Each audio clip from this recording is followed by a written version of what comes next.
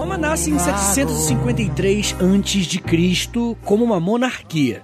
Depois se torna uma república em 509 a.C. e a partir do ano 31 a.C., com a morte de Marco Antônio, Roma se torna um império até 1453. São mais de dois mil anos de Roma. Você tem noção do que é isso? É claro, né? O Império Romano do Ocidente caiu em 476, com a invasão dos bárbaros e tal. Mas o Império Romano do Oriente, mais conhecido como Império Bizantino, foi até 1453. É tempo pra caramba, molecada. E como que isso aconteceu? Como que Roma se tornou algo tão grande e por tanto tempo? Bem, hoje nosso papo vai ser sobre as suas duas primeiras formas de governo, a monarquia e a república. Outro dia eu lanço um episódio sobre Império Romano. Se você quiser, inclusive, esse, esse episódio, é só mandar mensagem, só encher meu saco lá no arroba. Ah, e lembrando também que eu tenho um episódio sobre o Império Bizantino, né? Aqui no feed do História Meia Hora. É, quando você acabar esse episódio aqui, você ouve lá Império Bizantino, demorou? Mas bem, é, eu quero falar com vocês primeiro sobre a monarquia romana. Pessoal, a origem de Roma é normalmente dividida em duas origens diferentes. Uma histórica, que é comprovada historicamente, e uma mitológica. Eu quero contar para vocês o mito da fundação de Roma. Segundo o historiador Tito Livio, essa versão da origem romana era a que circulava na época. Era isso que os contemporâneos da monarquia romana contavam uns aos outros. A história começa com Enéas, o herói troiano, filho de Vênus. Ele chegou na região do Lácio, onde hoje é a Itália, e ele se casou com a filha de um dos reis latinos, Anos mais tarde, seu filho, Ascânio, fundou a cidade de Alba Longa, bem ao lado do rio Tibre.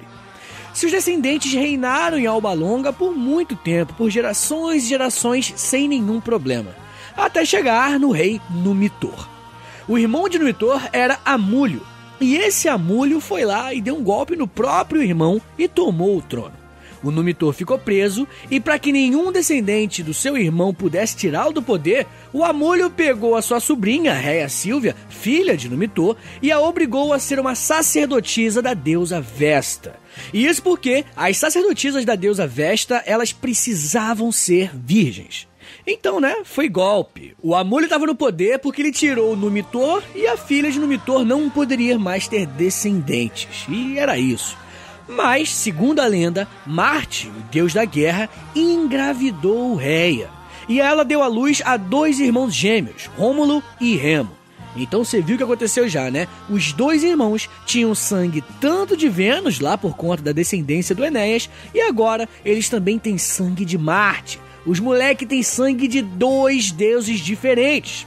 E bem, quando eles nasceram, a Réia sabia que o Amúlio ia passar os moleques. Ele com certeza ia matá-los na hora que ele soubesse que eles estavam vivos. Por isso, assim que eles nasceram, a Réia colocou os dois moleques numa cesta e deixou essa cesta no rio Tibre. Igualzinho à história de Moisés, né? Que foi deixado no rio Nilo numa cesta. Lembra disso? Bem, Continuando a história, a cesta encalhou no rio e uma loba, sim, um lobo fêmea, chamado Luperca, pegou os dois moleques e cuidou deles, estilo Mogli mesmo.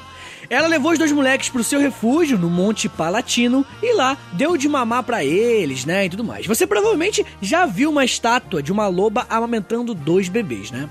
Mas enfim, daí, né, um tempo depois, um pastor tava passando por ali e viu dois moleques mamando na loba, moleque. Ele falou, cara, ele pegou os dois moleques para cuidar, né? Ele e a mulher, obviamente. Daí os moleques foram crescendo, crescendo, só que eles eram filhos de deuses, né? Eu acabei de falar que eles têm sangue de Vênus e de Marte. Então eles eram tipo fortão, né? Eles tinham super força, eles eram super rapidão, tipo X-Men, tá ligado? E na época rondava uma fofoca em Alba Longa que havia uma profecia que os filhos de Marte um dia iriam tirar a mule do poder e tudo mais. Né? Aí, né, os pais adotivos, eles fizeram uma conexão e perceberam, pô, só pode ser esses dois filhos aí que a gente encontrou, que uma loba tava dando de mamar.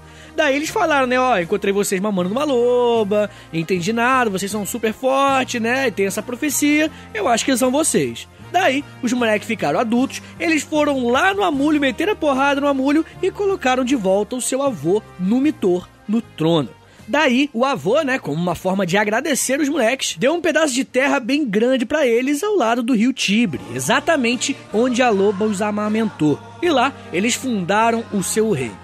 Só que o Rômulo e o Remo começaram uma briga um com o outro por conta de territórios. E aí, em 753, o Rômulo mata o Remo. Do nada, né? Olha isso, o Rômulo mata o irmão, doideira do caramba, e ele funda Roma.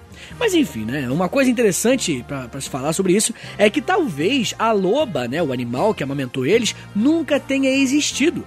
Isso porque o termo loba, que em latim é lupa, também era utilizado em sentido pejorativo para as prostitutas da época.